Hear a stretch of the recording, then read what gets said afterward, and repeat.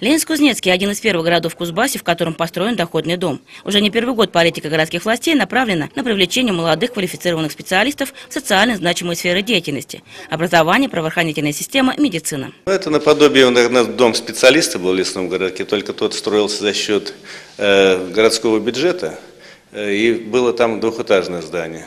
Ну, там были квартиры одна, двухкомнатная.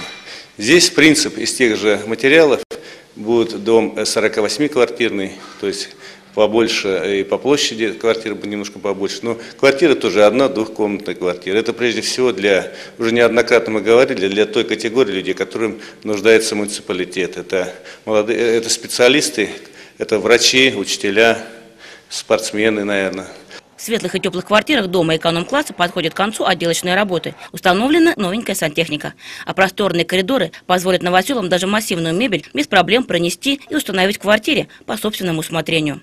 Желающих заселиться в такие квартиры, где к тому же плата за аренду чисто символическая, а реальные расходы только за услуги ЖКХ, уже сегодня предостаточно. Конечно, будут обеспечены те, которые согласно положению о доходном доме, но там есть определенные э, условия. Это Первое условие – это возраст, конечно, это второе условие, чтобы работал именно по специальности, и третье условие, конечно, чтобы жил э, в городе не более э, трех лет. На строительство доходного дома потрачено 57 миллионов рублей из областного бюджета и 4 миллиона из городского. Они пошли на коммуникации и благоустройство прилегающей территории. Здесь будет установлена детская площадка для малышей и турники для ребят постарше. Предусмотрено больше парковочных мест, чем было в плане первоначально, с учетом пожеланий жильцов. Сдача дома запланирована на конец октября.